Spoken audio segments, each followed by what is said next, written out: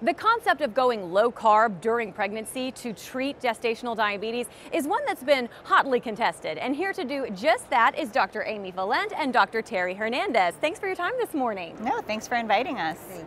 All right, let's get started with where this concept for a low carb diet as a treatment option for gestational diabetes even came from.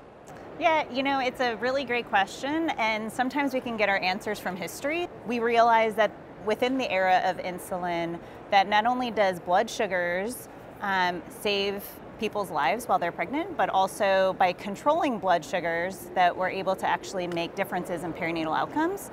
So from that, obviously, others, experts in the field, up until the last probably 50 years or so, have kind of demonstrated that there's a correlation with carb consumption and blood sugars in pregnancy.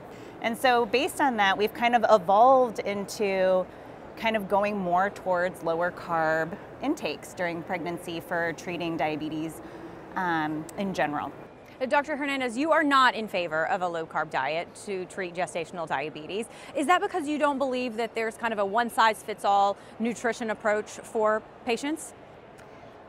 I think um, my position on this um, is is really is really in favor of creating options for women. Dr. Valent, though, is there uh, data to back up a low carb diet for those with gestational diabetes? From specifically looking at gestational diabetes and low carbs, there are more data that are coming out that people are looking at, looking at differences in carbohydrate content. At least it's not showing for what data is available is that it's harmful per se um, when we look at pregnancy outcomes, but the data isn't robust. That's so fascinating that you said it might not be harmful. It leads me right into my next question. Mm-hmm. Do you believe that there could be some negative side effects for women who adopt a low carb diet during pregnancy? What might those be? I think the best way to frame that question is what are the potential concerns or questions about going below, you know, low carb, meaning either 40% of total calories or 175 grams per day, which, by the way, are two very different questions. First, uh,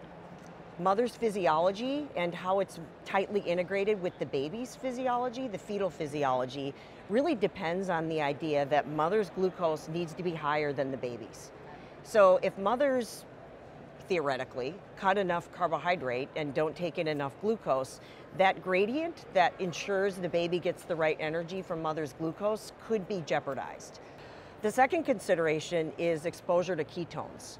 Um, so as carbohydrate intake uh, is further reduced, you know, across kind of a continuum, um, mothers can become ketotic, um, and in pregnancy they're prone to that anyway.